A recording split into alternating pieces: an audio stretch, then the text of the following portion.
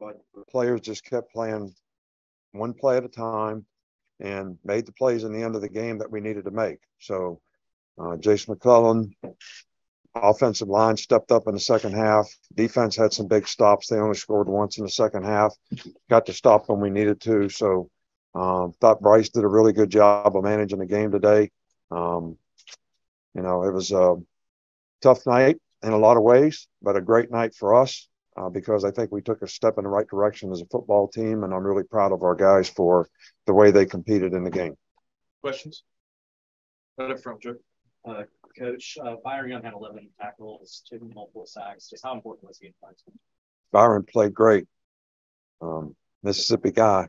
So, you know, I'm sure he was fired up for the game, but I thought he played great. But he's played really rough for us all year. He's a good leader on the team. It means a lot to him. Um, and glad to see him doing well. Yeah, we, we didn't see Jahmyr in the second half. What was reason behind that? Uh, he twisted his ankle. Questions? Uh, Jase had 84 yards. Kind of seemed how he did stand kind of stepping up. Well, I mentioned, you know, what a great job he did in the second half. He made some physical runs. The run he made on second and 12, I mean, he basically did that on, you know, grit and determination. R- really ran hard in the game, played physical. He's played well for us all year. Jahmyr's just played really well too. So Jay stepped up tonight, took advantage of it, no, no doubt.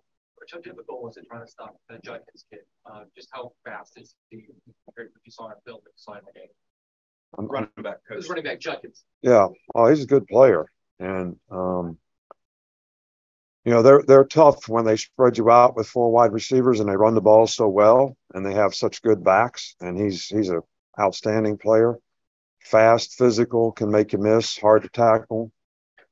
And you got to try to stay in nickel. You can't play dime because you can't stop the runs and you can't really match up on the passes. So one of the things that happened in the second half that helped us when we got some third down stops is we stopped the run a few times. We got third and long so we could play dime, so we could match up on the passes and got a couple sacks and got off the field on third down, which was huge in the game. What was the spark did Kendrick Law provide when you kind of put him in in the third quarter?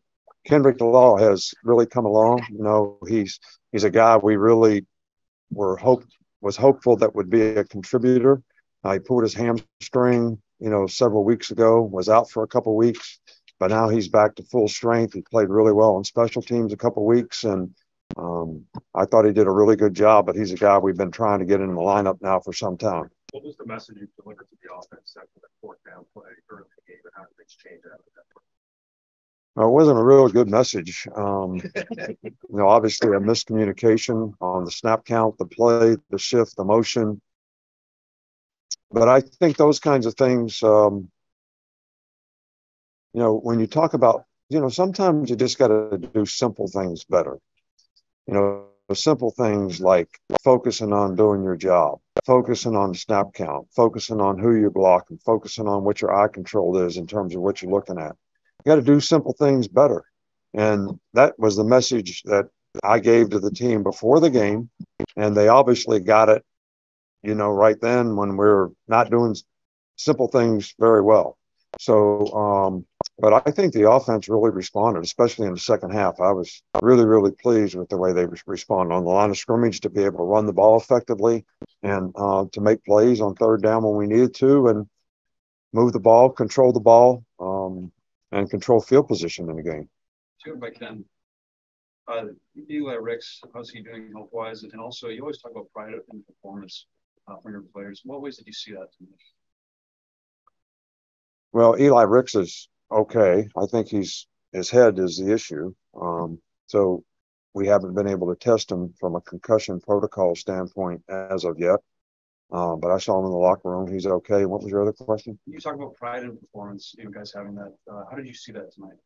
Well, I, all I've been talking about is how the players competed in the game, and I think that um, they have a lot of pride in what the standard of playing Alabama is, and they were challenged to play to that standard, to take it personal, um, to understand that they're responsible for the identity that they create by how they play on the field. It shouldn't be anybody else that makes that determination for them. And I think that's um, they took it personally, and I think they showed it in a game tonight. A Couple more, Katie. How much you tell them that forced fumble number defense? It was huge. Um, I mean, you know, set up a score, uh, got us to 17 14. And, you know, from that time on, I thought we played a little better in the game on both sides of the ball.